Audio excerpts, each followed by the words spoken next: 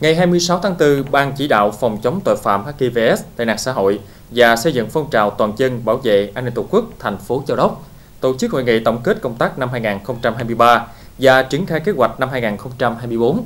Chủ tịch Ủy ban nhân dân thành phố Châu Đốc Võ Chí Trung chủ trì hội nghị.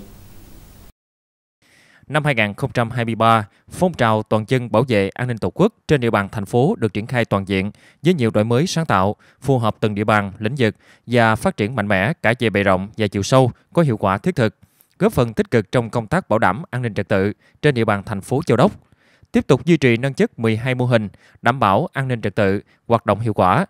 Các đội nghiệp vụ tổ công tác đảm bảo an ninh trật tự, an toàn giao thông, công an các địa phương giải tán 649 nhóm với gần 2.900 thanh niên tụ tập đêm khuya, phát hiện triệt phá 20 điểm tệ nạn xã hội liên quan 115 đối tượng. Phát biểu chỉ đạo tại hội nghị, Chủ tịch Ủy ban nhân dân thành phố Võ Chí Trung yêu cầu các đội nghiệp vụ công an phường xã thuộc công an thành phố, các ban ngành thành phố và Ủy ban nhân dân 7 phường xã thường xuyên rà soát, củng cố các mô hình,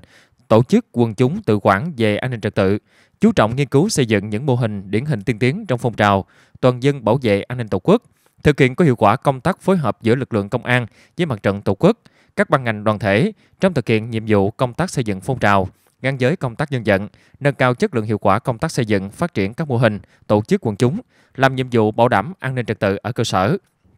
Đồng thời đẩy mạnh phong trào toàn dân bảo vệ an ninh Tổ quốc trong các cơ quan doanh nghiệp, cơ sở giáo dục và ngoài xã hội.